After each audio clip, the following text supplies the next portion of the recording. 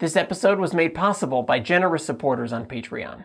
Hey crazies, we've been doing a lot with space-time diagrams lately, figuring out how different observers measure the passage of time. But that got several of you asking, does that mean the future is predetermined and we don't have free will? Well, maybe, maybe not. Deep questions like this require careful scrutiny. All we know for sure from diagrams like this is that time exists. That doesn't necessarily mean that the future or even the past exists. Hmm, maybe we should define these words first. The past is the time or period of time before the present. The future is the time or period of time following the present. So both of these are defined in terms of the current moment. That kind of makes sense. The, the present, the now, is what we're experiencing. But it feels like the past exists. We remember the past happening. Well, none of us remember that. Or, or, or that. But I certainly remember all of these moments, whether I want to or not. But does that exist? Or is that just a memory we're experiencing now? The future also feels like it's going to happen, even if we don't know what it'll be. Does that exist? Or is that just a prediction we're making now? Hmm. Let's see what this looks like on a space-time diagram. You are here. This event represents your present, your now. Whether you're stationary, moving at a steady speed, constantly accelerating, or doing something completely random, you can't go any faster than light. Light travels along these diagonal paths, so your path is stuck inside those lines. This half happened before your present. It's your past. All the events that might have influenced you. This half will happen after your present. It's your future. All the events you might influence. Your entire life is contained inside these regions, no matter what you might have done or what you might decide to do. Those two regions are called your past and future light cones. Cones? How are those cones? Oh, right, right, right. Let, let me explain. Only having a single space axis makes these look like triangles. But if you include a second space axis, you can see they're really cones. You just have to consider light traveling in any direction. Actually, there are three space axes. Y yeah, yeah, but our axis limit is three, and one of them has to be time. But besides, most motion happens in two dimensions anyway. Let's not overcomplicate this. Anyway, this still leaves a few things open. I said might a lot during that space-time diagram. So are we predetermined to travel our space-time paths, or not?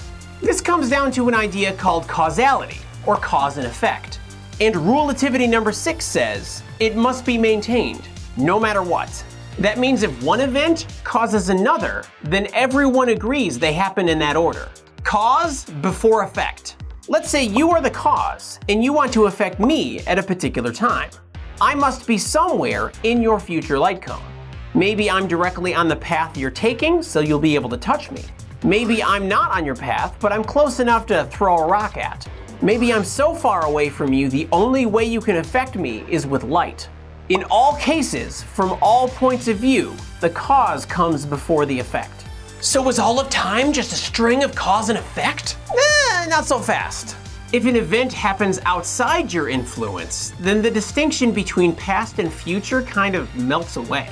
Say there's an event outside your future light cone, outside your influence. You might still think it happens in the future, because on your timeline, it happens at a later time. But someone else might say it happened in the past, because on their timeline, it happened at an earlier time. Wait, wait, S- something can happen in, in one person's future, but another person's past? Yep. So the future and the past are very personal concepts. They belong to the observer. But the observer is only in the present, which reminds me of something.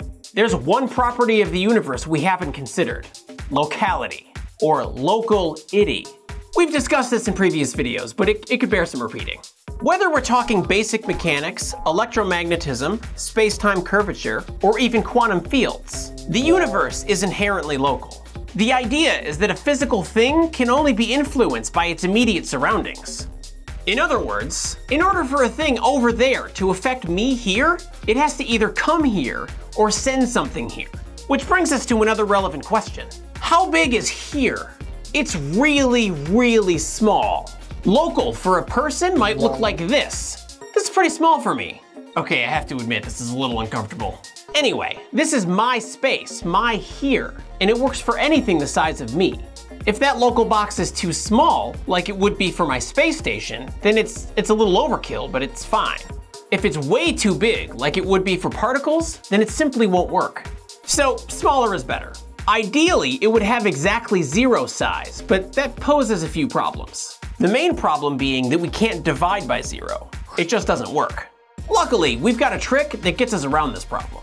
Let's start with two points separated by this much space. Say this point is at 5 and this point is at 6, or 5 plus 1, because they're separated by one unit. Maybe it's inches, maybe it's centimeters, whatever, it doesn't matter. If we make the space a little smaller, the second point might be at 5 plus a half, or 5 plus a tenth, or 5 plus a hundredth, or 5 plus a thousandth. The points keep getting closer together. They're almost the same point, but not quite. If we keep this up, we can get closer, and closer, and closer, until the points are at 5, and 5 plus an unimaginably tiny number. So tiny, it's not even useful to label it as a number anymore. We call it an infinitesimal and label it dx. Welcome to calculus. I know my calculus. U plus me equals us. Anyway, an infinitesimal is an amount of space that is as close to zero as we can get without actually being zero. It's as local as our math can get. Of course, dx is just one dimension. dx and dy make two dimensions. Include a dz, and you've got three dimensions, also known as space. Include a dt, and you've got a four-dimensional spacetime. The volume, dx, dy, dz, is the local here, and the dt is the local now. That's all that really exists. There's no universal reference frame because there's no universe, at least in the way that people usually understand it. This space-time diagram is only a map of predictions about a non-existent future and predictions about a non-existent past.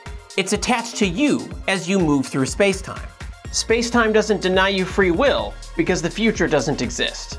All that exists for anyone is their local here and their local now. You might not have control over much in your life, but you always have a choice about what kind of person you are here and now. Make that choice a good one.